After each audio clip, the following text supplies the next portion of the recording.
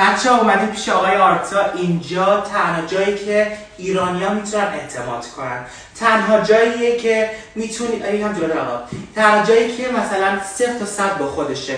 اونه که اولین بار میان ترکیه. فقط به این شخص اعتماد کنیم پولتون دست کسی ندید. حتی به این آقا هم نمی‌خواد پول بدین. میبرتون همون جایی که دانشگاه می‌خواین درس بخونید یا اقامت می‌خواین بگی هرچی به همون به جای سر طرف حکومتی فقط پرداخت می‌کنید ایشون راهنماییتون می‌کنن و هر کاری وکیل خواستیم ملک می‌خواین هر جا می‌خواین خونه بخرید پاسپورت بگی هر کاری کنید فقط با آقای آرتا تو استانبول.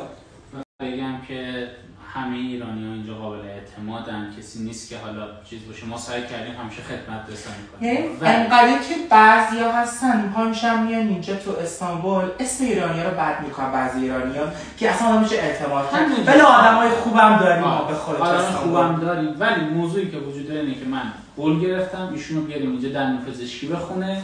ثبت نامش من نه. فامیلم دیگه آقا. خب خودت هم بیا دیگه. من نمی‌خوام آقا یه هفته خوشت- بلاگری زیاد پول در یه. هفته بیا اگه خوشت نیاد خب. آره.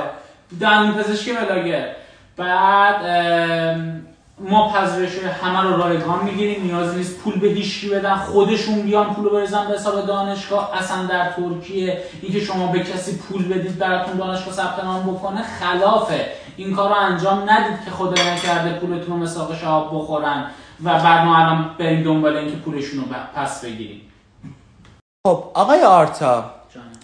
کیا اینجا ثبت نام کردن؟ کیا اینجا بلاگرا با شما کار کردن و و اومدن اقامت گرفتن؟ مثل که کارهای بلاگرا خودتون شما انجام میدین حتی. یه چیزی که هست که هست یعنی اینجا ولی اسمار نمی‌تونین بگین نه؟ اینجا اینا همه فایل های خصوصیه. 300 400 تا برگشت. تو این 300 400 تا برگشت نزدیک شاید 30 40 تاشون بلاگره.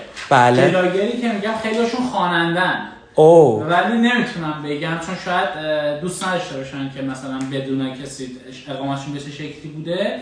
ولی حالا خیلی بیان تو page متوجه میشن کیا ما رو follow دارن کیا ما رو follow ندارن. ولی توی ترکیه تقریبا اقامت غیر ممکنه ولی ما استاد کارهای غیر ممکنه اقامت تو ترکیه غیر ممکنه. غیر ممکنه؟ نه ما استاد کارهای غیر ممکنی با ایشون ممکنه.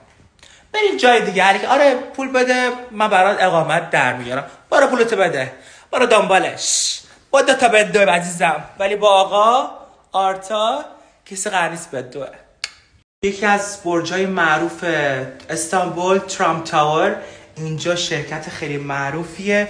اونایی که می‌خوان اقامت بگیرن اونایی که می‌خوان بیان تحصیل اینجا مثلا بدون کنکور و این چیزا فقط اینجا با شرکت آرتا. وکیل هر چی کاری خواستی می‌خوایم بگیریم ملک. یعنی اصلا غیر تحصیل شده هر کاری خواستی اینجا انجام بدین فقط با آرتا.